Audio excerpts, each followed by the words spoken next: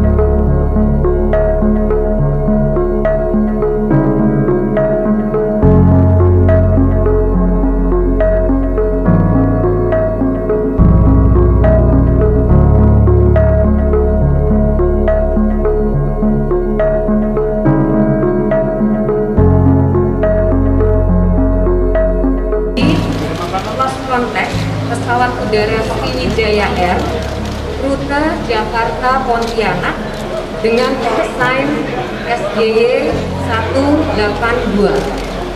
Terakhir terjadi kontak pada pukul 14.40 waktu Indonesia bagian Barat. Dan untuk itu eh, kami dan seluruh jajaran di sektor transportasi beserta seluruh stakeholders menyampaikan rasa prihatin eh, atas kejadian ini.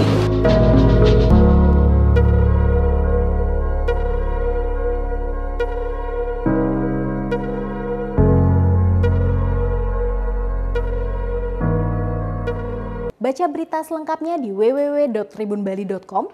Baca juga koran Tribun Bali dan jangan lupa follow, like, komen dan share Facebook, Instagram dan YouTube Tribun Bali.